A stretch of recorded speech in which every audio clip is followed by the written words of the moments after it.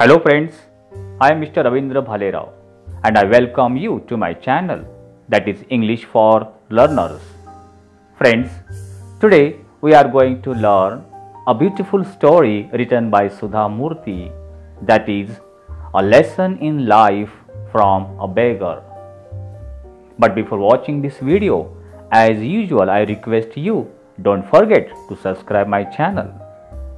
The name of the story is A Lesson in Life from a Beggar, written by Sudha Murthy. Let's see a brief introduction about the author. Sudha Murthy, who is a well known writer of short stories, she has written books on her memories from her childhood, on hospitality, and other such issues faced by common people in their lives. This lesson has been taken from her book Wise and Otherwise. Characters of this story Meena, an LIC officer. Next one is author herself. Let's see a story in detail. Meena is a good friend of mine. She is an LIC officer earning a good salary. But there was always something strange about her, always something unusual about her. She was forever, means all the time, unhappy. Whenever I met her, I would start to feel depressed. I would start to feel unhappy. It was as though her gloom, gloom means feeling of sadness, and cynicism means a distrustful attitude, had a way of spreading to others. Means her distrustful attitude or sad feelings always spread to others. She never had anything positive to say on any subject or about any person. For instance, for example, I might say to her, Meena, did you know Rakesh has come first in his school? Meena's immediate response, Meena's immediate reply would be to belittle the achievement. Naturally, his father is a school teacher, she would say. If I said, Meena, Shweta is a very beautiful girl, isn't she? Meena would be pessimistic. Means always expecting the worst, negative attitude. And she might say, When a pony is a young, he looks handsome. Pony means a small horse. It is age that matters. Wait for some time. Shweta will be uglier, more unpleasant looked than anyone you know. So, in this way, it was her negative thinking for each and every object or person. Meena, it's a beautiful day. Let's go for a walk. No, the sun is too hot and I get tired if I walk too much. Besides, who says walking is good for health? There is no proof. That was Meena. She stayed, she lived alone in an apartment. Apartment means in a rented room, as her parents lived in Delhi. She was an only child and had the habit of complaining about anything and everything. Naturally, she wasn't a very pleasant, pleasant means enjoyable company. She did not want, nobody want to be a friend with her and nobody wanted to visit her. Then one day, Meena was transferred to Bombay. She shifted Bangalore to Bombay and soon we all forgot about her. Writer explained her memories about Meena when she was living in Bangalore. Many years later, I found myself caught in the rain at Bombay's Flora Fountain. Means, writer for her official work, she came in uh, Mumbai and that time when she was near the Flora Fountain place, that time suddenly uh, there was uh, a raining. It was pouring and pouring means raining heavily and I didn't have an umbrella.